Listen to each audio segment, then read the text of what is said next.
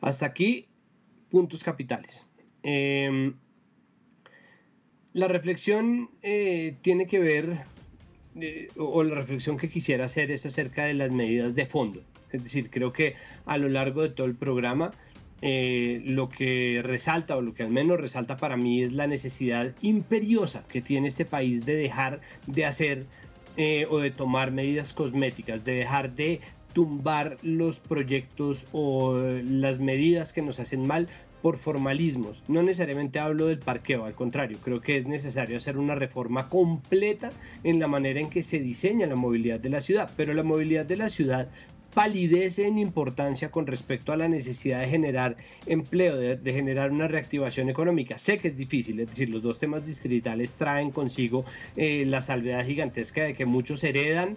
Eh, necesidades, problemas, eh, oportunidades que vienen de las administraciones anteriores, pero precisamente por eso es necesario tomar medidas de fondo, sobre todo en el caso de los derechos humanos y en el caso de las medidas que se toman para proteger el medio ambiente. Nosotros no podemos seguir dependiendo de que una agencia nacional tumbe por un formalismo, por un sobre de Manila mal firmado un proyecto.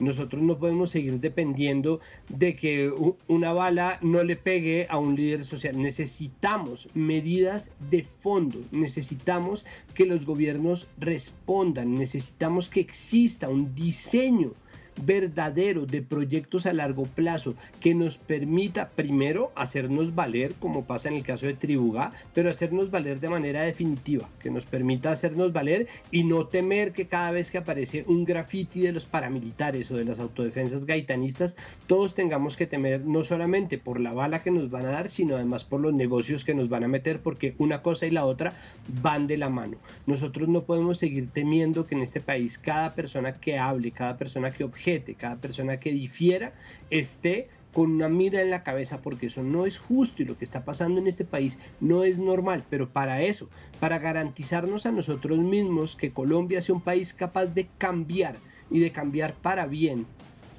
necesitamos definitivamente pensar en el largo plazo y necesitamos empezar a tomar medidas que seguramente nos van a incomodar, que tal vez no veamos sus resultados cuando nosotros ni siquiera estemos vivos, pero que vale la pena empezar a hacer. De nuevo, la reactivación económica es un proyecto que tiene que empezar ya, que es urgente, pero que tiene un componente a largo plazo que debería estar pensando en reducir la desigualdad.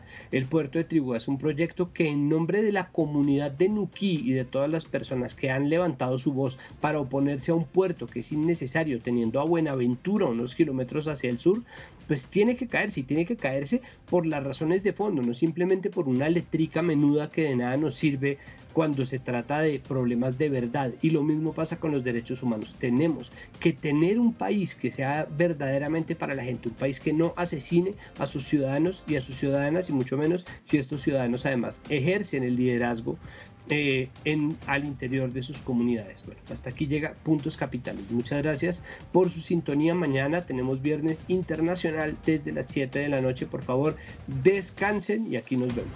Chao.